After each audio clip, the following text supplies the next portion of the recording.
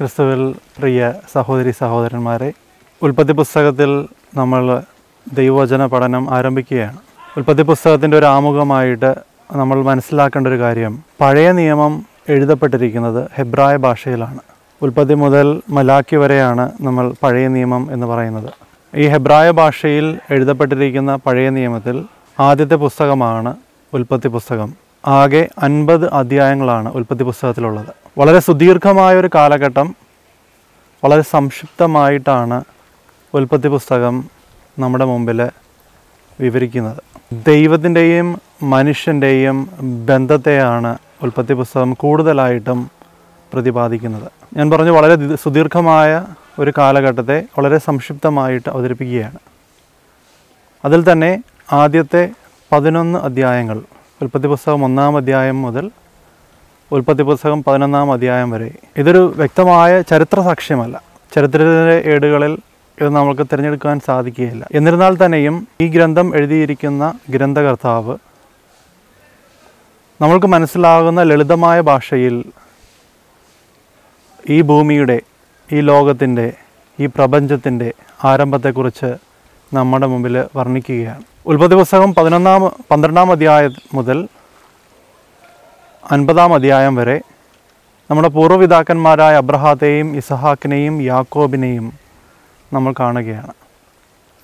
ഹാരാനിൽ നിന്ന് പുറപ്പെടുന്ന അബ്രഹാം ദൈവം അബ്രഹാത്തിന് നൽകുന്ന വാഗ്ദാനം പിന്നീട് അബ്രഹാത്തിന് ലഭിക്കുന്ന മക്കൾ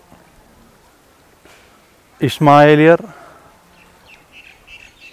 ഇസഹാക്ക് യാക്കോബ് അങ്ങനെ അവസാനം യോസഫും അവന്റെ സന്തതി പരമ്പരകളും ഈജിപ്തിലെത്തുമ്പോൾ ഉൽപ്പത്തി പുസ്തകം അമ്പതാമത്തെ അധ്യായം അവിടെ തീരുകയാണ്. ഞാൻ നേരത്തെ സൂചിപ്പിച്ചു ആദ്യത്തെ പതിനൊന്ന് അധ്യായങ്ങളിൽ ഈ ലോകത്തിന്റെ ആരംഭത്തെക്കുറിച്ചാണ് ഈ പ്രപഞ്ചത്തിന്റെ ആരംഭത്തെക്കുറിച്ചാണ്. അവിടെയാണ് രക്ഷാകരമായ പദ്ധതി രക്ഷാകര പദ്ധതി അതിന്റെ ആവശ്യകതയെക്കുറിച്ചാണ് ഈ ആദ്യത്തെ പതിനൊന്ന് അധ്യായങ്ങളിൽ.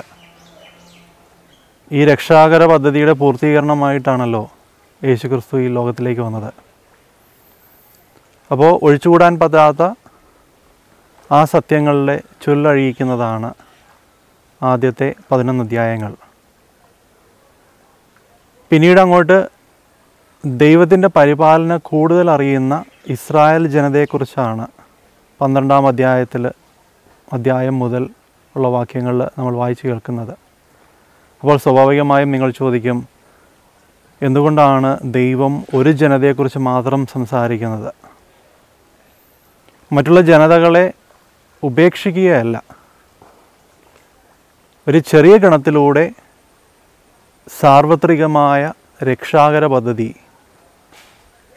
എപ്രകാരമാണ് ദൈവം രൂപീകരിക്കുന്നത് എന്ന് നമ്മൾ പഠിക്കുകയാണ്. അങ്ങനെ ഇനിയുള്ള ദിവസങ്ങളിൽ ഉൽപ്പത്തി പുസ്തകം ഒന്നാം അധ്യായത്തിൽ തുടങ്ങി അൻപതാം അധ്യായം എത്തുമ്പോൾ ദൈവത്തിന്റെ ഈ അനന്തമായ പരിപാലനയെക്കുറിച്ച് നമ്മൾ ധ്യാനിക്കും. ഒപ്പം നമ്മുടെ പൂർവപിതാക്കന്മാർക്ക് ദൈവം നൽകിയ ദൈവം ചൊരിഞ്ഞ അനുഗ്രഹങ്ങളെക്കുറിച്ച് നമ്മൾ പഠിക്കും. വരും ദിവസങ്ങളിൽ ഉൽപ്പത്തി പുസ്തകം ഒന്നാം അധ്യായത്തിൽ തുടങ്ങി നമ്മൾ ദൈവവചനം പഠിക്കുകയാണ്.